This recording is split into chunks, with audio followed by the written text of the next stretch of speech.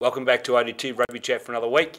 Pretty sure I picked the Highlanders last week, and I picked uh, Tyro to beat uh, Southern. You stick with Matt, I'll take you to the top.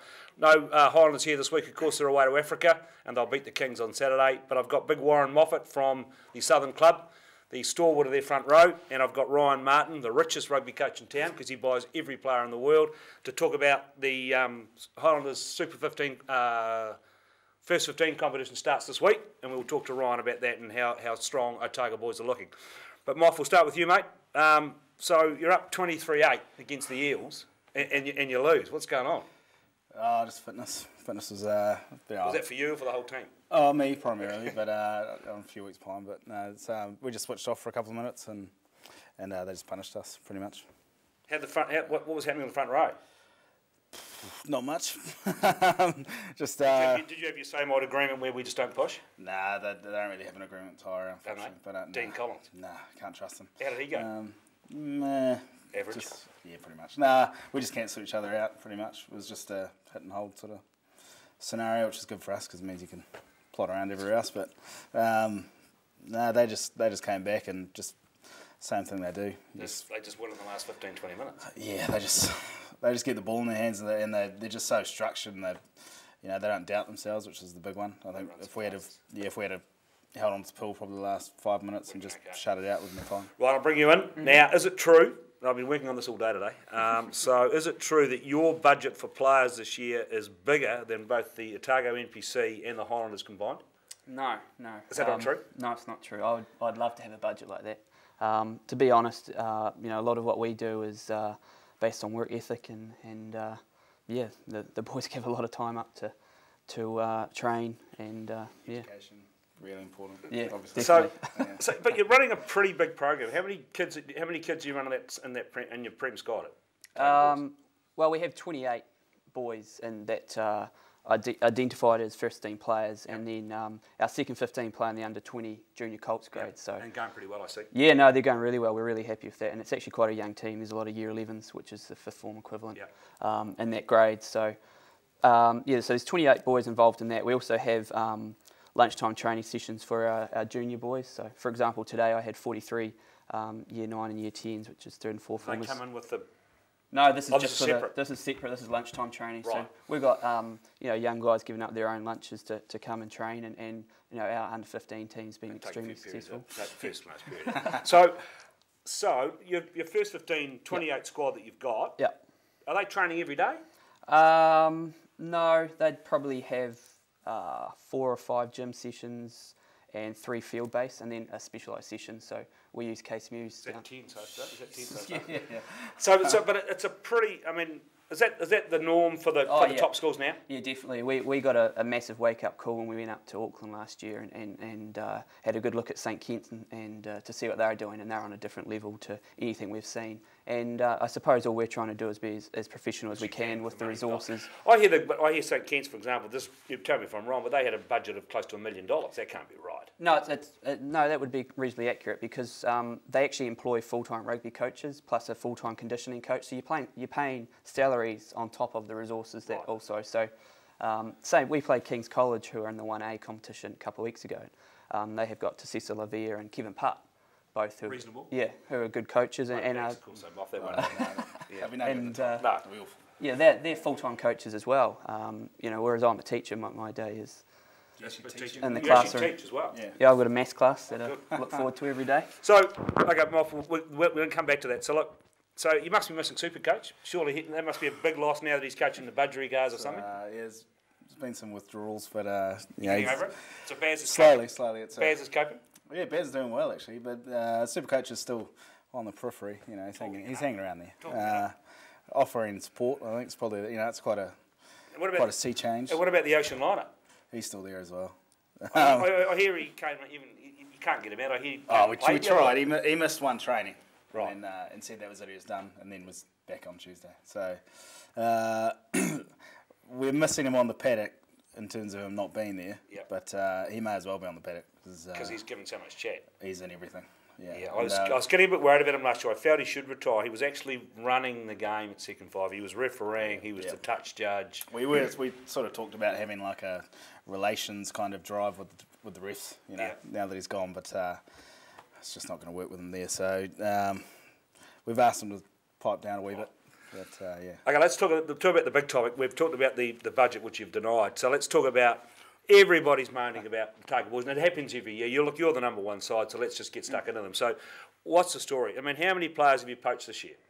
Um, we've got three boys that are new to school this year. Yes. Um, and to be poached though. the, the biggest thing for us is, um, you know, boys are making the, the decisions on themselves to come to our school. We're, we're offering a really professional environment for their rugby.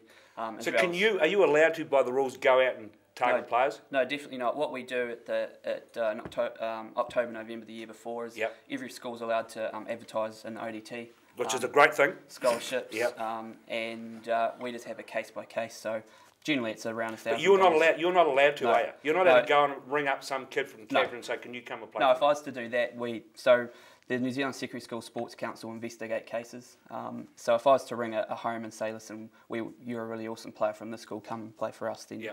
That would be me gone. But um, So, do you get sacked over that as, a, as the coach? I'd get stood down for a two year. I think it's a one or two year period. Right. The St Kitts coach got stood down for a year. yes, well, that was last year. It was nice yeah. to see that. Yeah. Um, you know, our biggest advertisement is our boys. Um, Right. They go they go and play rep rugby with other kids and, and talk about you know what we've got in place, um, the, t- the type of rugby we play. Yeah. Um, if you look at the Otago Rugby Academy, you know half of them are ex OBs players. right. So, who, who who are the three kids you've brought in this year, and where are they from?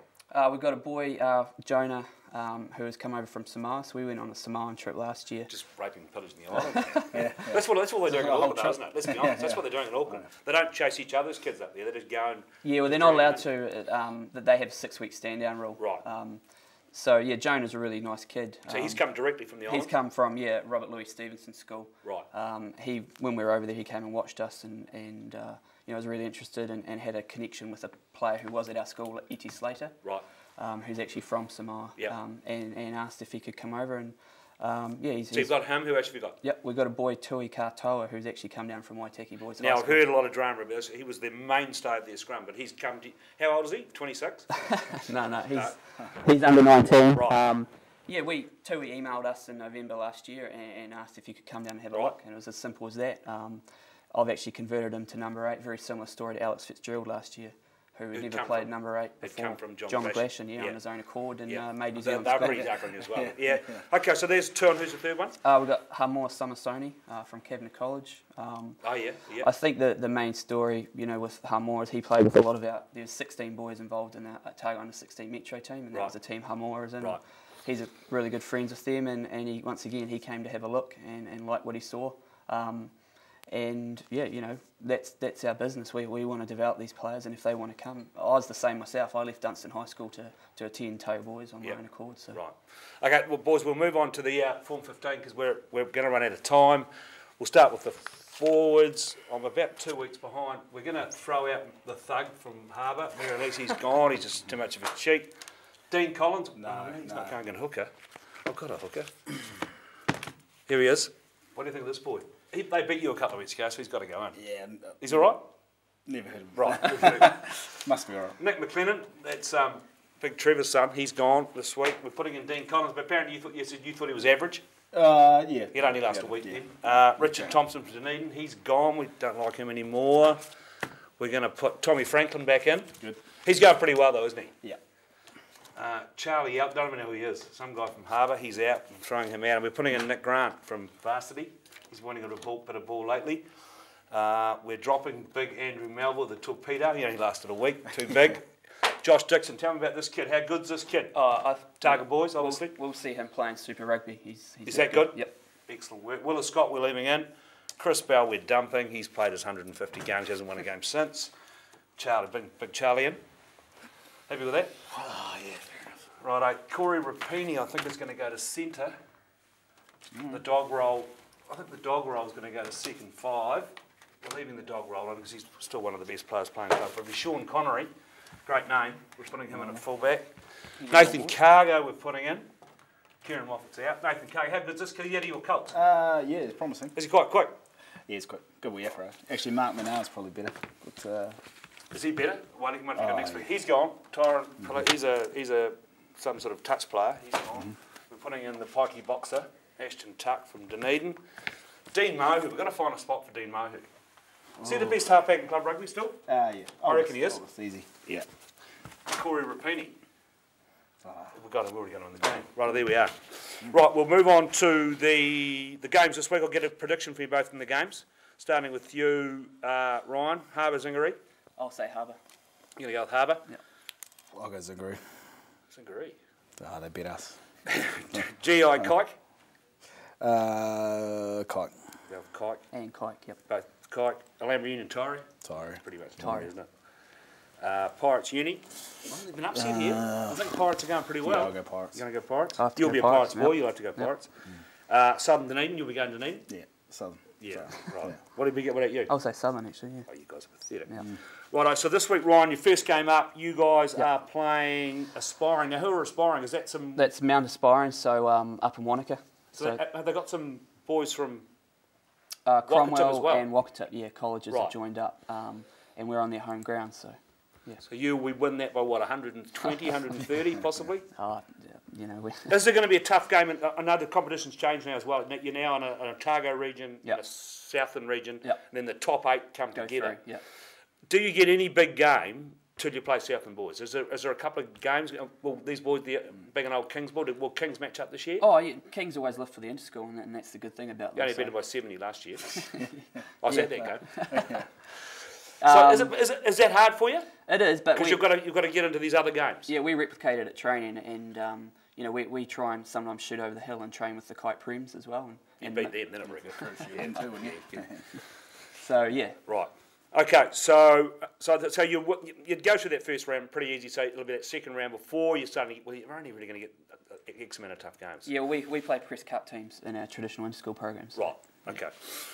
Right, guys. That's we've been told to wind up. Um, look, the big game this week, uh, the Highlanders will beat. I'm sure they're playing the Kings. They beat the Kings, and in the big game, Southern versus Dunedin. I can't pick Southern. I'd rather cut both my arms and legs off. I'll take Dunedin, and we'll talk to you again next week.